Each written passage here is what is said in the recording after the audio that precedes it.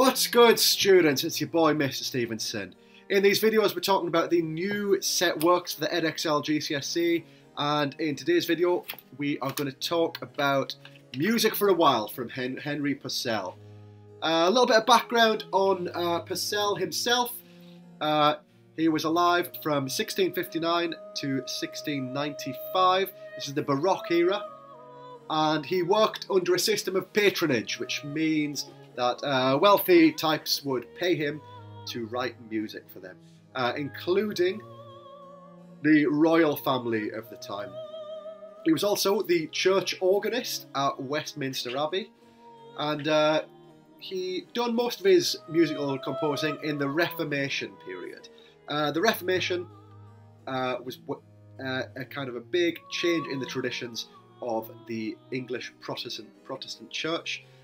Uh, and a huge, huge change in the musical traditions occurred at, at that time as well, including, uh, for once, uh, the English Protestant Church were embracing music uh, from all over Europe, and church church music began to become much more interesting and to be composed, for instance, with uh, with an orchestra. Also, operas became hugely popular uh, in the United Kingdom as well. Uh, Henry Purcell really capitalized on this and created some amazing stuff, including this particular piece, Music for a While, uh, which is the second of fourth move of four movements rather uh, of incidental music. Incidental music is uh, music that forms part of the story, um, so music that occurs within uh, a story in a play rather than the theme from the start to the end. It's music that occurs within the, the play and kind of drives along the dialogue. It's the second of four movements of incidental music from the play Oedipus by John Dryden and Nathaniel Lee. Oedipus is uh, based on the Greek legend of the same name, uh, about a little fella who is abandoned as a child. Um, he comes back to his place of birth as an adult, and he uh, he kills his dad without realizing it. He kills his dad and marries his mum. Gross. Uh, when he realizes what he did, he picks his little eyes out. Gross. And uh, he commits suicide. Damn. And uh, this particular piece of music from Purcell, uh, the lyrics they drive along the storyline of the play.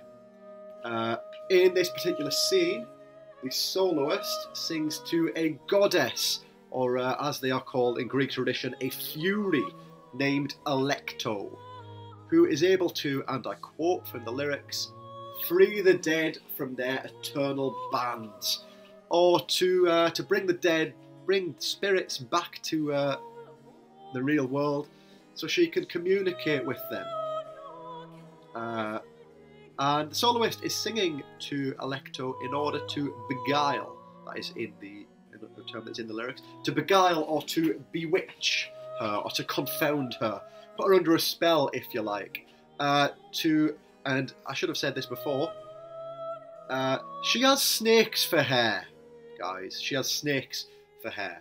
Um, and she carries a whip around as well. Not really, you know, nicest, nicest of characters. Um, so the soloist is singing to her in order to beguile her, to make the snakes fall from her head and the whip from her hands. Again, I'm quoting directly from the lyrics. Uh, the reason uh, the soloist is singing to Alecto is so that Alecto will summon the ghost of King Laius, that is Oedipus's father, uh, to find out who was his murderer. Uh, the song itself is a lament um, a lament is, uh, in essence, a sad song filled with longing uh, from this era. Uh, features of lament that, uh, that are, that, are, used in this particular piece are a sorrowful narrative, uh, you will, you will get that from the lyrics, a minor key, and a slow tempo. Uh, you would maybe refer to a piece of music like this is maybe a dirge or you know something a bit dreary. Uh, but the key key word to remember for that is that it is a lament, and it is in stile italiano or the Italian style. Uh, it is a concertato, uh, which is a term from early Baroque music that refers to either a genre or style of music in which groups of instruments or voices share a melody, uh, usually in alternation, so they will uh, the instruments or voices will switch. Uh, who is taking the melody? And it's almost always over a basso continuo. I will get to that in a minute. Uh, it is a dramatic recitative, which is also a feature of the Stile Italiano. Uh, a dramatic recitative is, uh, well, let's break that down. Dramatic, we know uh, to mean that it is from a drama, it is recitative. The lyrics carry uh, the narrative and the dialogue of the play. Uh, it is a da capo aria, also. Um, an aria is simply a sung work from an opera. Uh, da capo uh, means from the head. Uh, capo in Italian means head. We can tell it is a da capo aria because after the B section, it goes back to the head or the start of the song. Uh, the lines beginning with music for a while. Uh, that occurs at the very at the very start or the head of the song and at the very end, so it goes back to the head. And it uses a basso continuo, also known as a ground bass. These are often variations on a theme, where a theme is played and uh, varied in different ways, perhaps by different instruments or by using ornamentation. We'll get to that as well. But it's music that is written over a pattern of repeating bass notes. The modern term we would use is a bass line. Um, the harpsichord carries the bass, bass uh, the uh, basso continuo in the left hand. And it's a bit unusual, this basso continuo. The patterns are normally four bars long, the uh, basso continuo patterns. This one is three bars in length. Uh, if you have a listen to the piece it's playing now, uh, you should be able to get that.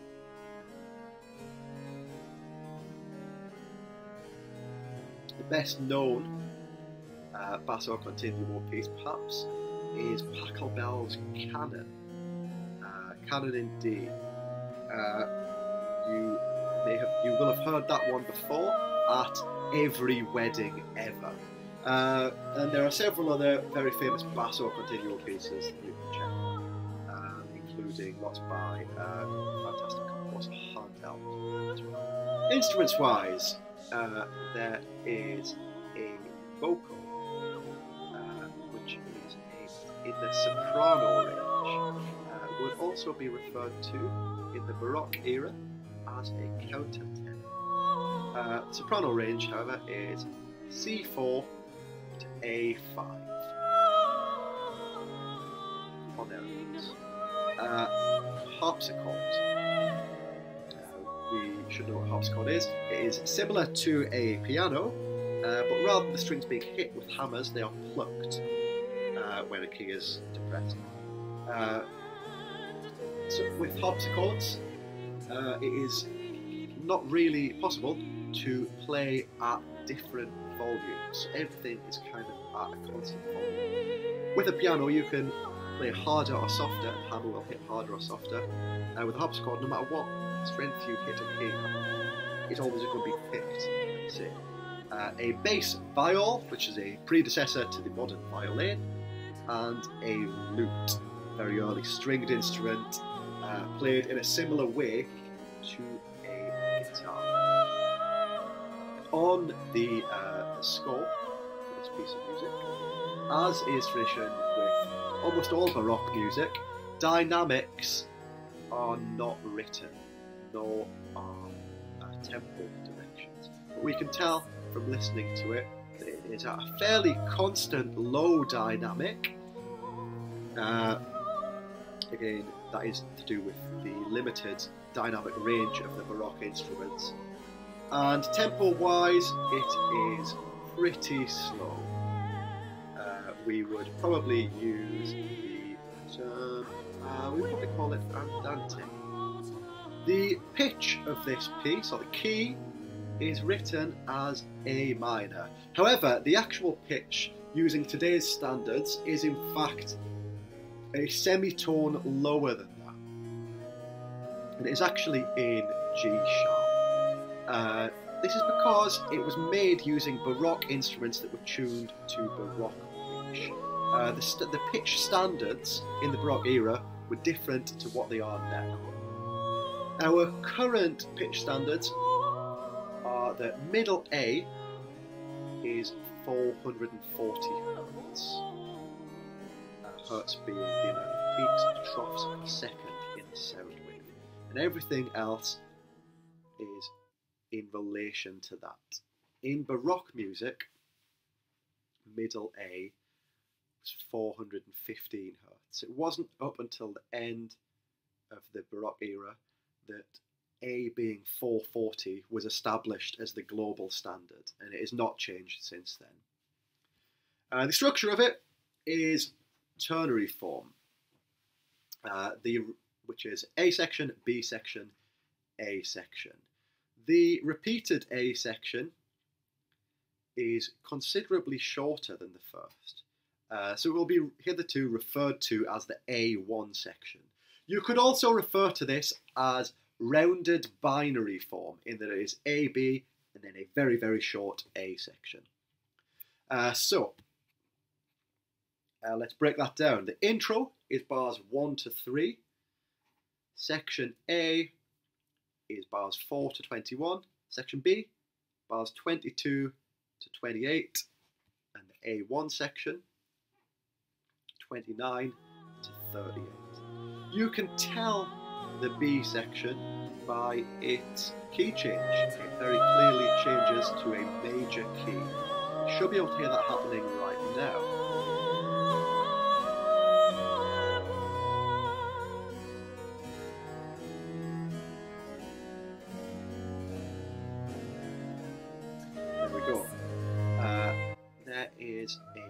Of use.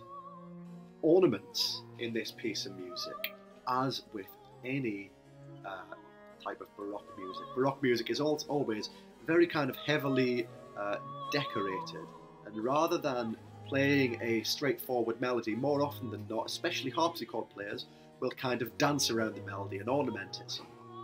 Um, the ornaments we hear in this are upper and lower mordents, uh, which is a quick switch to the note above or below and back. Um, so, for instance, let's say an upper mordent uh, on A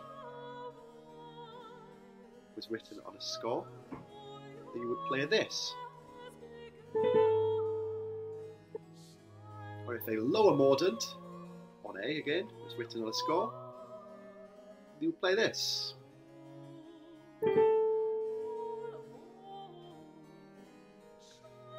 We have also got an appoggiatura ornament. Uh, sorry about that uh, little Italian accent there. Um, an appoggiatura is a note that leans in on the main note, taking half its value. Uh, you'll see one on a, on a score on the screen now. These are normally either a tone or a semitone higher than the main note. I will play a melody with an appoggiatura uh, sorry, without an appoggiatura first, and then with to begin with, so you can hear that happening.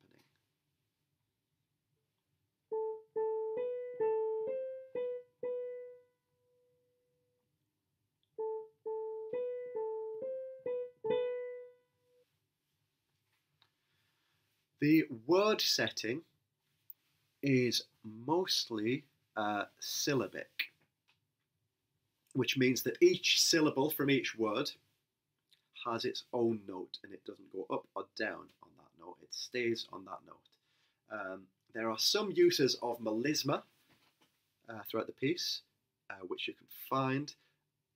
Uh, melisma is when a word uh, shifts across multiple pitches. So a, word, a syllable is stretched and the pitch will go up and down. A good example of this is on the word eternity. Uh, sorry, eternal. Eternal, not eternity. Eternal.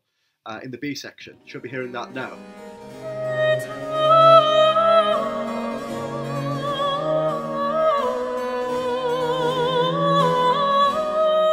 As well as being an example of melisma within the piece, the word eternal is also an example of word painting within the piece as well.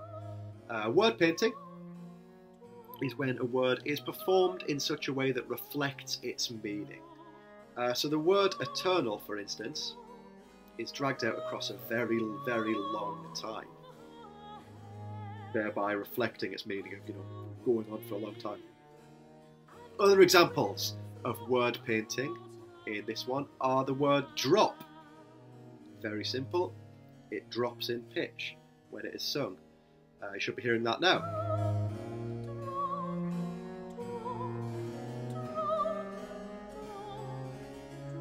And a third example of word painting from the piece is the word wandering. When this word is sung, the singer wanders around on the pitch. Simple.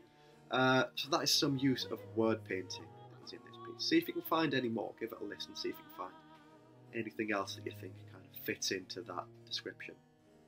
To add to the drama within the piece, there is some use of dissonant intervals. A dissonant interval is a combination of notes that can be considered uncomfortable or clashing.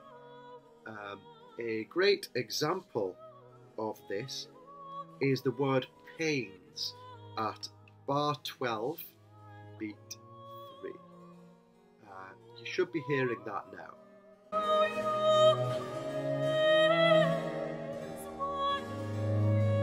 So, in uh, what's going on there, the vocalist is singing an E note, and it is over a D minor chord, which contains an F note. Now, if you have a look at the, pian- piano here, you will see that E and F are direct neighbours. Uh, they are a semitone apart. If I play them together, it is going to sound very, very ugly and dissonant. Check this out.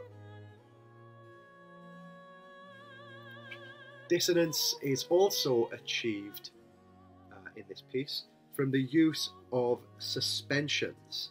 Uh, suspensions are when a note is hung on or sustained uh, from a section where it isn't, where it fits in musically, to a section where it doesn't. So it creates a kind of a momentary, uh, fleeting instance of dissonance and discomfort, and the, this really adds to the kind of the the drama of the piece. Another interesting uh, technique in terms of pitch that is used in this one is a tierce de picardie on the word snakes. A tierce picardie is a section in a minor key ending with the root chord of that key, but its major equivalent. So, for instance, the A section is in A minor, and the first chord of the B section is an A major, which really adds to the drama of that section. So it's a sharpened third from from minor to major. Uh, so the chord changes from being A C E to A C sharp E. It really gives a sense of drama on its arrival. Have a practice of that. If you know any pieces that you can play on your instrument, they're in a minor key. Just practice ending them on the home chord, but its major equivalent. It can give a real nice sense of drama. Uh, the piece ends on an arpeggiated final chord. That is when a pattern is made from picking out each of the chord, each of the notes in the chord, one after the other. You should be hearing that now.